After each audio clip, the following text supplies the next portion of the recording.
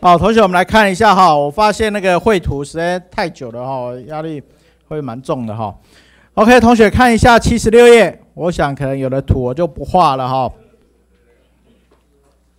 因为时间的关系哈。七十六页，好，我们讲二极体的电路，好，二极体的特性，我们在前一章讲过了哈，前一章讲过。我们来接着接着来进入整流电路，好，二极体的第一个电路就是整流电路。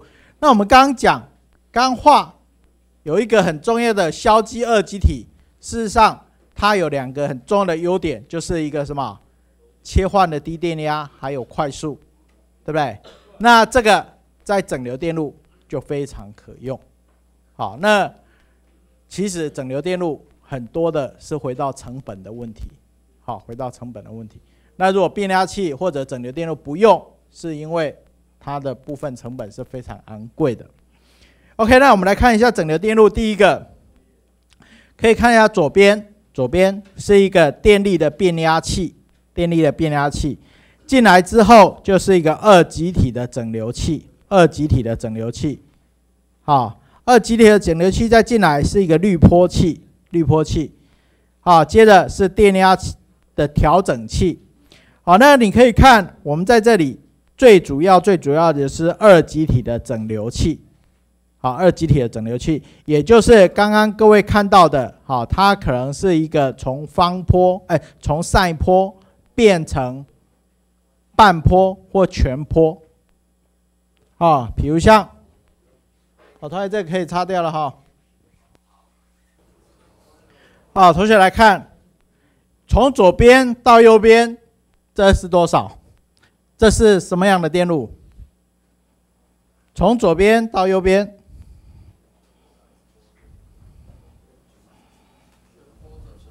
啊，这是全坡整流，同学应该不陌生哈。那如果半坡呢？少一个，啊，少，中间这个不见了，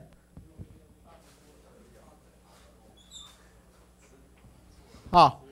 那刚刚我们刚刚讲硝基二极体，好，这里就会产生一个很大的问题，啊，同学，这个理论的半坡长这个样子，但是如果使用一般的半导体 P-N 界面的话，它就会长成这个样子，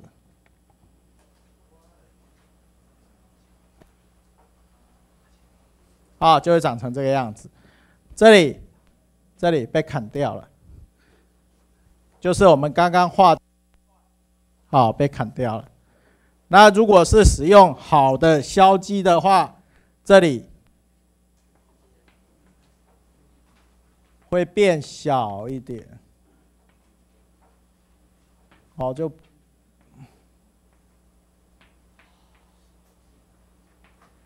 好这样，这样了解哈。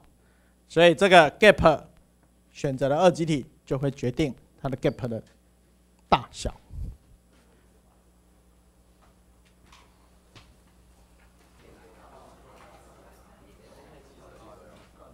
好，同学来看，在整流电路的二极体电路之前，好，会有一个很重要的部一个东西，就是变压器，变压器。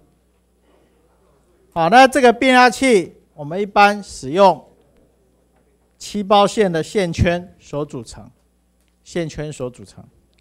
好，那这里有一个注记，好，一般符号有一个注记。如果这个是正向，这里就正向；如果这个擦掉，画在这个地方，这个是正向，这个就反向。这了解吗？啊，这个。一般少标正负，啊，正向反向，同学知道哈。如果是正向，你的坡形是这样，出来的坡形也是这样。如果是反向的话，这里就是这样。好，这样就这样反向，这会哈，这就反向坡。好，同学知道一下。那如果一般对 AC，我们一般都称为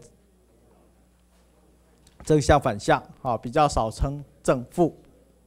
好，那它的大小的关系，也就是 VI 跟 VS 的关系，就是等于它的线圈比 N1、N2、VI、VS。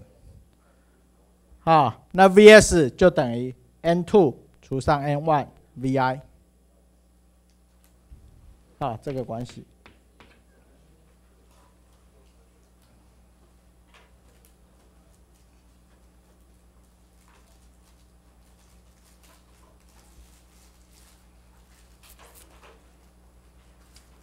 好，它这有没有问题？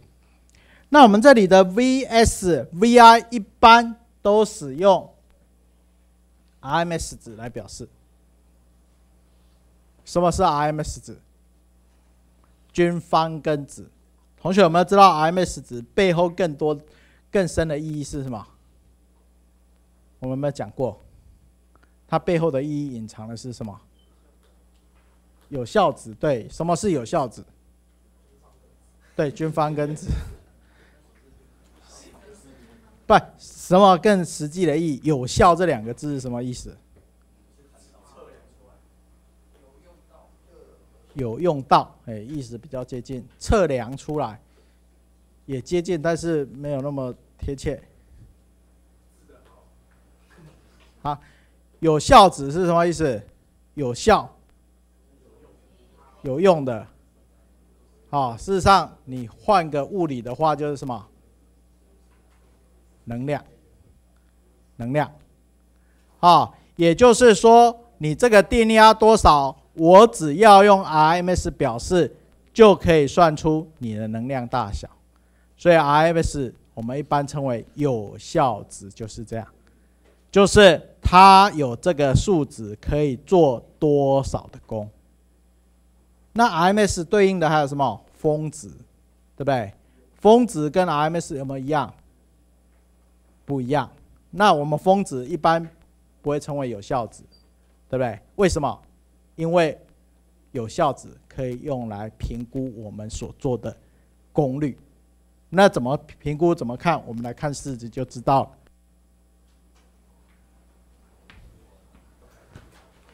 好，同学，们来看。MS 的意义，事实上，MS OK，我们来看功率等于 I_V_I 电流电压，也等于 V 除上 R，V 除上 R 再乘以 V，也就是电压的平方除以 R，那这个 R。是我们的负载，这我们的负载，我们的负载，看你的负载去哪里，你的功率就多少。但是在负载之前，我的电压可以用平方来评估我的功率，来评估我的功率。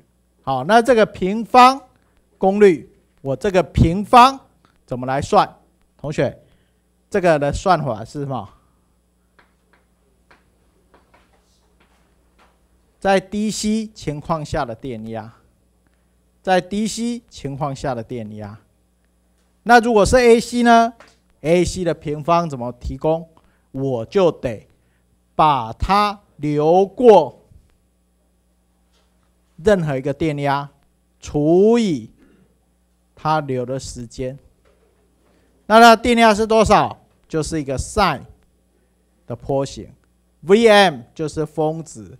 峰值乘以 sin 的平方，峰值乘以 sin 括号的平方，也就是 Vm 平方 sin 的平方，对零到 t 的积分，零到 t 的积分。那同学，你说拍跟二拍之间，跟零跟拍事实上是一样的。同学对这两块面积一样有没有问题？因为你平方之后负的会变正的，对不对？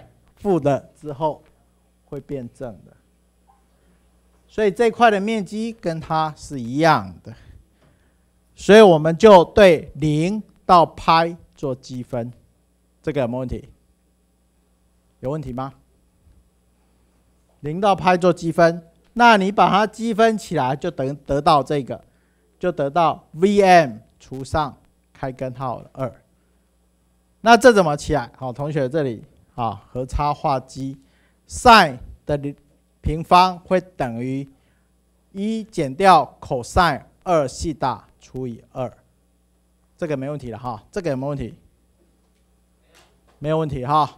那这没问题，把它带进去就得到这个关系啊。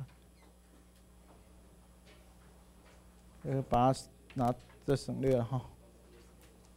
好，这里前面还有一个西大零，delta 西大。OK，把这个带进来就得到这个式子在这里。好，那这个呢，你可以看一。系大就是一，对不对？所以等于派减零，第一个就是派减零，减掉 cos 两倍的系大，cos 两倍的系大等于多少？派 cos 二派等于多少？等于零，cos 零也等于零，所以后面这一项就会等于零，了解吗？所以你就会得到派除以二这一项，所以这里得到的就是。根号这样，然后前面有一个 Vm，看这个微积分有没有问题？这个 cos delta 西大就是什么 sin 的微分嘛，对不对？它的积分就是 sin 嘛，对不对？sin 的两倍的西大，那西大带派或带零，结果都是零嘛。对不对？我知道意思吗？好，cos 的积分回去就是 sin 嘛，对不对？sin 的二派 sin 的二乘零，就等于都是等于零。好，所以这里就会是派除以二，就得到这一项，所以得到这一项。所以这个告诉我，我如果是一个上坡的话，它的均方根子就是 Vm 除上 Vm 除上，就是它的均方根子。好，如果它是一个上坡的话，均方根子就是这个。这个有没有问题？赛坡的均方根子，所以它背后的意义，事实上就是平方的累加，平方的累加，平方的累加之后得到的结果。好，所以这个均方根只要知道一下它的意义哈。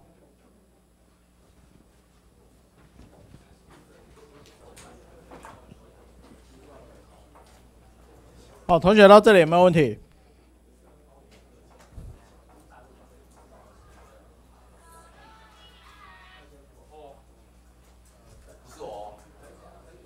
他到这里有没有问题？好，这我们之后啊会讲。这个我们刚刚讲了，好，变压器的电路，接着是二极体，二极体就用来做整流。那整流，啊，会给你这个是什么法？片段线性法。如果他没给你片段线性法，他给你是一个理想的二极体，那更简单，就直线，了解哈？就直线更简单。好，同学有没有问题？OK OK，我们回来哈。这上礼拜这个地方我教太快漏掉了哈。OK，我们上礼拜微分的方法，那另外还有一个方法，好，就是用泰勒展开式的方式。好，同学不要讲话。泰勒展开式 exponential x 这个 function 这个 function，哈，假设我要得到 x 趋近零的话，x 趋近零的话，我就可以利用一阶呃零阶一阶为分，二阶为分，exponential 项，不管你几阶都是一样的值。好，那我把零带进去，就得到一，一，一。那这个就是泰勒展开式。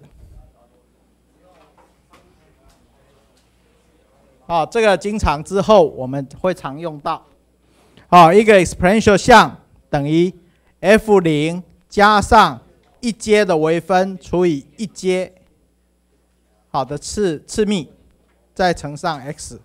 再加上二阶的微分，好，再除以二阶，好，x 的三次方，再加上三阶的微分除以三阶，x 的三次方，好，那后面很小，我们就忽略。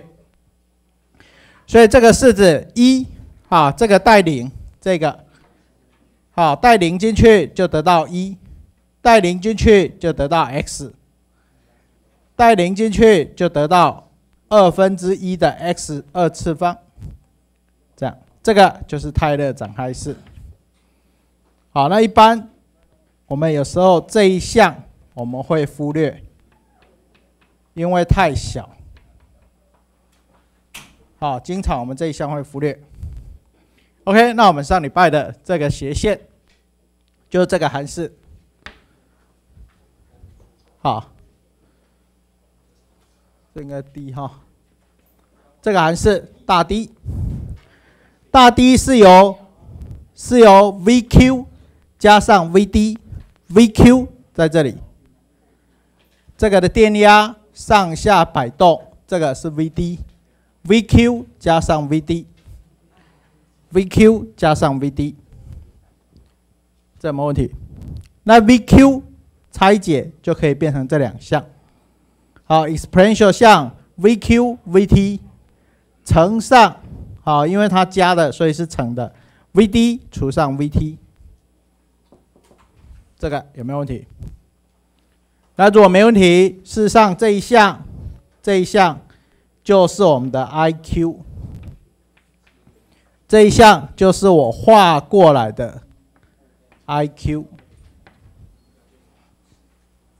那这一项呢？这一项我们就用泰勒展开式，因为 VD 除以 VT 远小于一，因为在这里非常的小，非常的小，远小于一，而且这个趋近零，所以我就用泰勒展开式，这一项会约等于一加上 VD 除以 VT，也就是在这里一加上 x，那 x 值等于多少？VD 除上 VT，x 值等于 VD 除上 VT，我就可以得到这个关系。我把这个带进去，就得到下面的式子：IQ 乘上一加上 VD VT。好，那这个 ID 呢？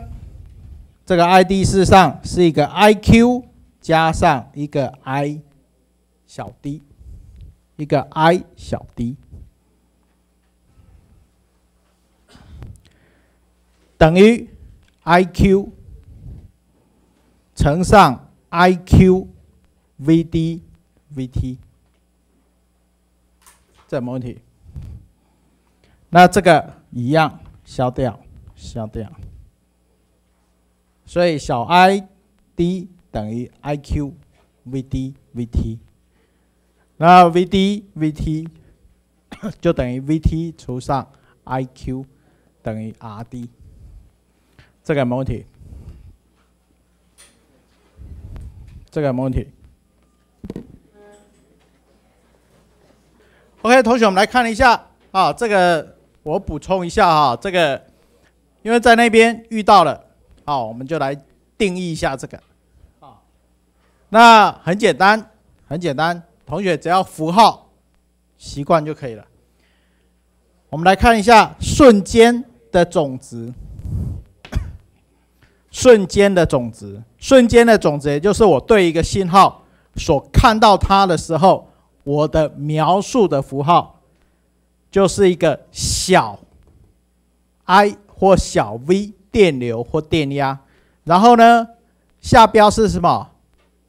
大写的，好，大 V 或大 V 一随便，好，上面小写，下面大写，这个就是瞬间的种子。好，那等一下我们看完，同学会比较有感觉。那直流子呢？直流子就是这个固定的偏压。如果是电流，称为 I_V；如果是电压，大写的 V，V 一，就好像我们这里它的直流子。是 I Q，它的偏压是大写的 V Q。好，那同学你也可以写成 V D Q 也可以，好，随便。好，就是大写大写，这个我们称为直流子。OK，那交流子呢？交流的瞬间值都小写，所以这个。飘动的这个就是小写的 v 跟 v 一 v v 一啊，所以我们要组成一个坡，事实上就是一个直流子 dc 加上 ac dc 加 ac 啊，这个是交流的瞬间值，小写小写。那如果两个啊。上面是大写，右下角是小写，这个我们称为向量或向量角，啊，就是指这个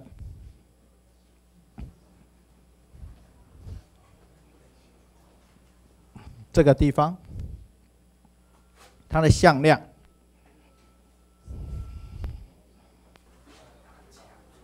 啊，同学，如果就这个坡的话，它的向量。就是等于 Vm exponential j y m，就是这个向角所产生的向量，向角所产生的向量。同学，我可不可以问各位，这个表示成这个有没有问题？表示成复数有没有问题？公数表示成复数。现在有没有教到复变函数？函数复变还没有教。OK，同学稍微有点感觉一下这个复数，好，这个 cos 变成复数，cos 变成复数。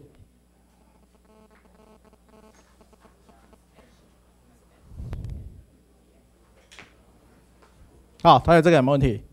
好，重要的，重要的。就是小写的 v，大写的 v，哎，小写的 i，大写的 v，小写、大写、大写、大写、小写、小写、大写、小写，它所代表的意思就是瞬间总值、交流值、直流值，也就是我们要描述这个坡形的时候，在飘动的这个，我们就定义它为交流值。不动的这个，我定义它为直流子，所以这个就写小 v 小 v 一，这个直流子大 V 大 V 一，两个直流交流加起来就是我的瞬间总值，瞬间总值，然后相位在下面，向量在下面，向量这个我们比较少表示，哈，因为这个有向角的问题。这个，所以在这里这个地方，我们这个就是交流子，这个这个就是直流子。好，那当然这里会感应一个小 i d D，好，小 I D，这个我们就称为交流子。好，这有没问题？好，同学让他让你自己有感觉一下，因为之后我们的符号都围绕在这个。这个定义好，来回的讲。OK，接着我们就进入到上礼拜整流电路。好，那第一个我们要介绍的就是全波整流。好，我想这个同学应该不陌生。啊，各位如果在之前有做电源电路的话，哈，经常第一个就会使用到这个电路。好，那全波整流我们大概分为两个部分，哈，两种电路，第一种是中心引线的方式，第二种是桥式整流器的方式，桥式整流式。好，中心引线很简单，引过来，负载在这里。同学，这应该没问题哈。当正的时候，这边正的时候，怎么样？从这边流，流到负载，再流回来。负的时候，从这边流。流到负载，再流回来，对不对？这没问题吧？这没问题哈，这没问题。好，一个从这边流负载回来，一个从这边流负载回来。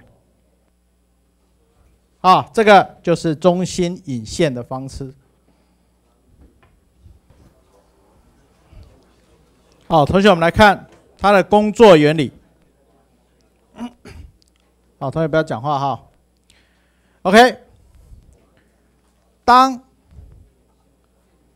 这边是 VS，VS，VS，VS 进来的时候，第一个遇到二极体，当 VS 大于它的导通电压的时候，D1 第一颗 D1 就 turn on，当 VS 大于它的导通电压，为什么大于它导通电压？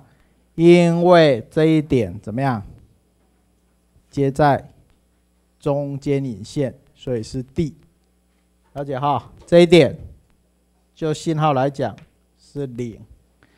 所以这个回圈还没成立的时候，这个点的电压就等于这个点的电压，也就是等于零的电压。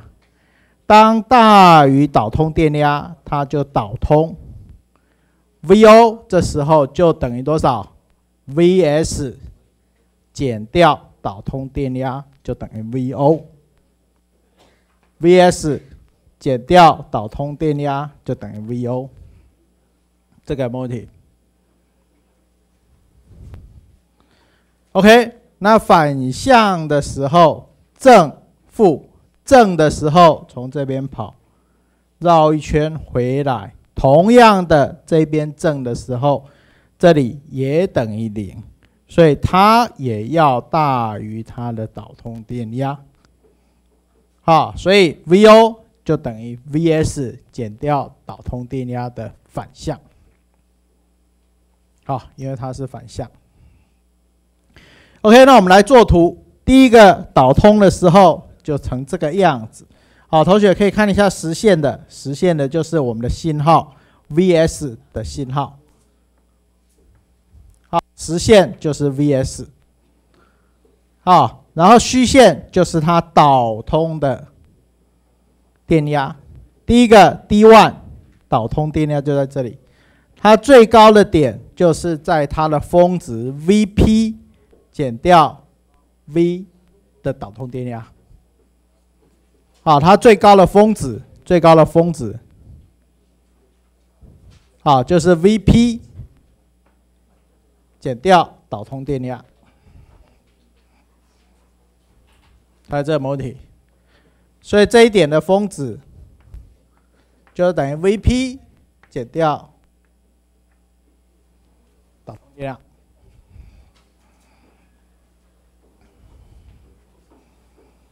这没问题。没问题哈，OK，那当 D one 哎 D two 是 turn on 的时候，同样的就变成这个点，了解哈？这个点也是一样，Vp 减掉 V 导通电压，也是一样，只是它这里是负 Vp 转上去是正 Vp。啊，这里是负 Vp，这里是正 Vp。好，同学注意一下正负。OK，我把它做成它的转换曲线图，就长成这个样子。Vs 大于导通电压的时候，它就跟这个一样。好，Vs 大于它的时候，Vo 就等于 Vs；大于它的时候，Vo 就等于 Vs。同样的，这里，啊，Vs 小于负的导通电压之后，它就等于负的 Vs 上来，Vo 就等于负的 Vs。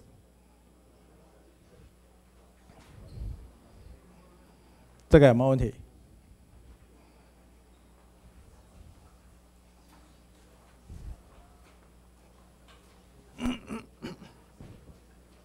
这个有没有问题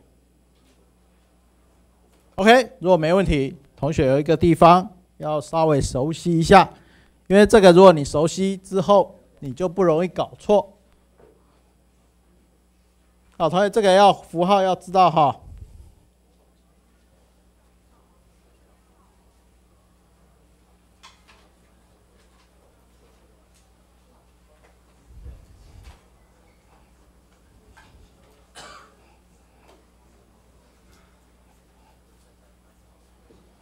OK，我就以这个例子，Vs 这里的电压，我不要用导通电压，直接 Vd。这里 Vs 减掉 Vd 多少？减掉电流 Id 乘上 RL 等于零。好，同学，这有一个推导的观念。所以这个有没有问题？Vs Vd 减掉 Id，我假设一个留一个电流 Id 乘上 RL 回来。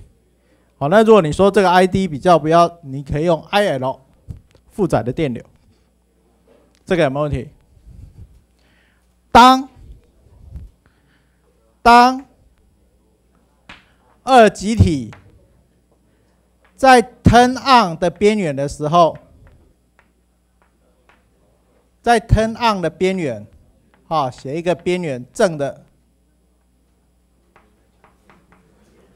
在 turn on 的边缘的时候，好，同学不要讲话哈。在二极体导通之前跟不导通的时候，这时候的 IL 怎么样？等于零，对不对？I 楼是不是等于零？对不对？对不对？它要导通不导通，I 楼是不是等于零？对不对？对哈，所以 VD 等于多少？VD 就等于 VS，对不对？VD 搬过来就等于 VS。这时候告诉我们一件事情，它如果要成立，它就要大于导通电压，它就要大于导通电压。所以当 Vs 大于导通电压的时候，D_one 就 D_one 就会 on。这时候上面的公式 Vs 减掉 V 导通电压。减掉 IL，RL 就会成立，这时候就会成立，所以这时候的 IL 你就可以算出来，就等于 Vs 减掉 V 导通电压除上 RL，这没问题，这没问题，负的也是如此。好，同学，这个只是很简单哈，但是同学记住。这个观念，这个观念，好，我们用负的来看看。负的，同学你可以看，我定义 Vs 是正负，正负，对不对？所以这里一样是正负 Vd。所以 Vs 绕一圈。OK，同学，我们来看一下哈，另外一边，另外一边负 Vs，好，正负负 Vs 减掉 Vd 绕一圈 IL IL 再回来，就得到这个式子。好，那我们探讨 D2 在导通的边缘的时候。它的电流是等于零，好，在导通的边缘的时候，它电流是等于零。它电流等于零的时候，我们来看这一项等于零，好，这一项等于零，等于零的时候，Vd 就等于负的 Vs。那我们知道，Vd 要导通，所以它要大于它的导通电压。它大于它的导通电压，你把它左右乘以一个负号，就得到 Vs 要小于负的导通电压，下面才会导通。这时候梯度才会 turn on。所以这时候 IL 就得到负的 Vs 加上 V。导通电压 RL，它这个有没有问题？它这个有没有问题？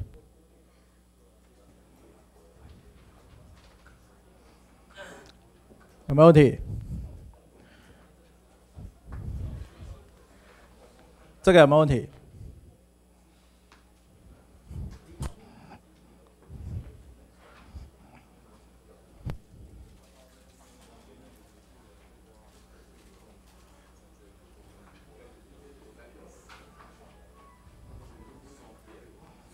同学，加个正号。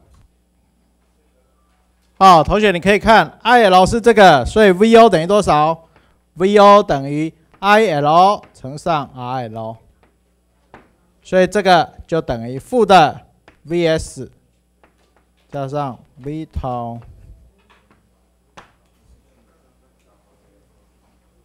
好，同学这里加个正号。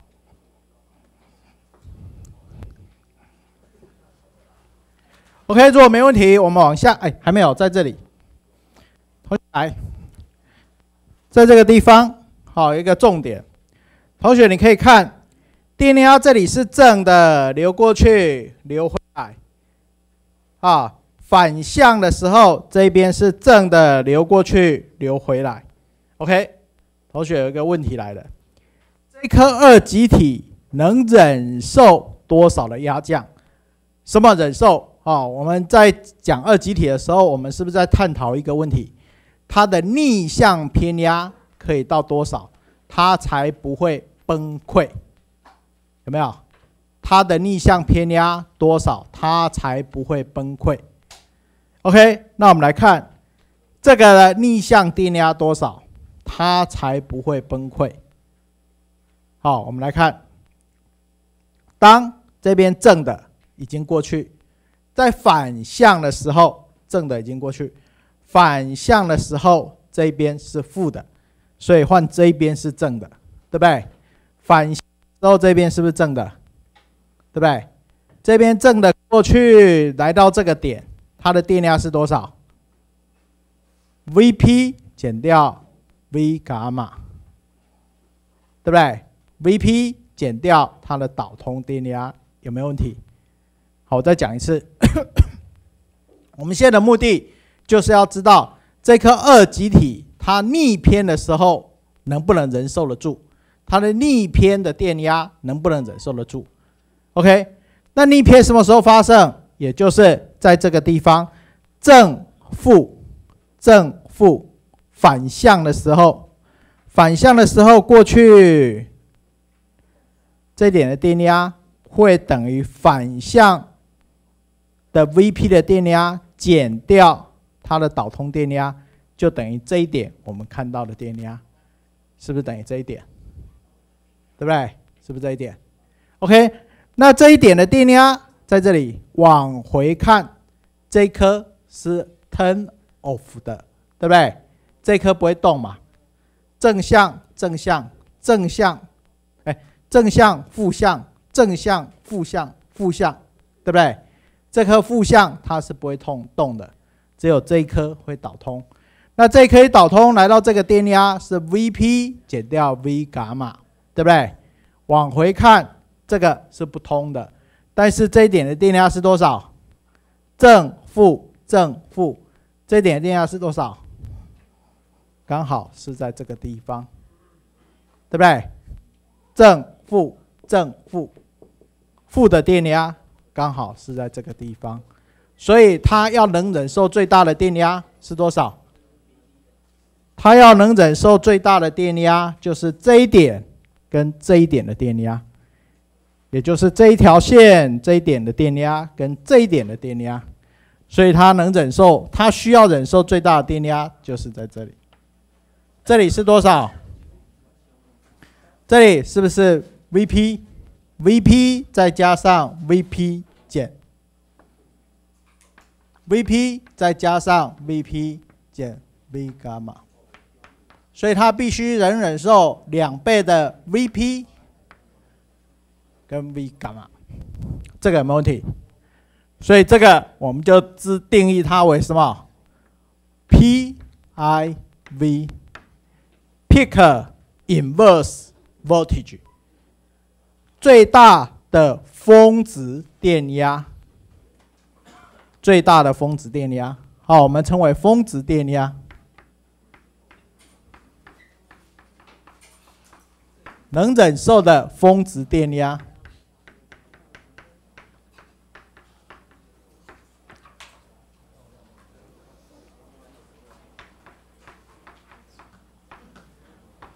好，反向峰值电压。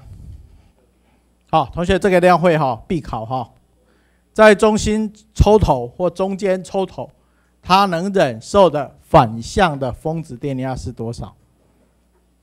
了解哈，两倍的峰值减掉它的导通电压。同学，这个怎么来的？有没有问题？需要再讲吗？这个有没有问题。这怎么来的？有没有问题？有没有问题？没问题了哈，这应该会哈。不会的举个手一下好不好？哦，应该都会哈。好，同学都会哈。